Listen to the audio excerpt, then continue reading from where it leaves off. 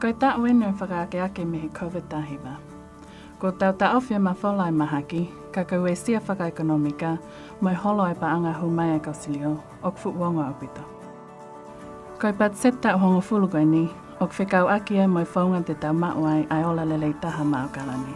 E toko naki e ke ka hauho tau kolo, lolo tonga e o ke maulalo ai tuku hau apikolo, whakawhiawa naki ki ngahi kolo ke hei nusina. Thank E toko nien ke whakaake a ke whakaako no mika o kalani, poupou pou i hotau ngai community, langa hanga hi ke vai, no fo anga, no fe aki.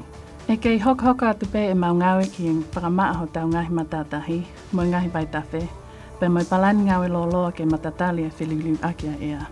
Ok wha fuafua e we sia pa anga hu mai e ko silioa o kalani, aki ha taha piliona ko uhi ko COVID-19.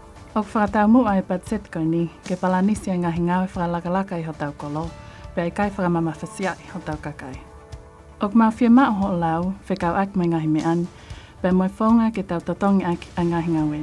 O mai hao lau, ak heo alki e akhaveyoursay.nz forward slash recovery budget. O tala mai ai hau ngai whakau kau ke mau ngai palan ke kahaua o kalani.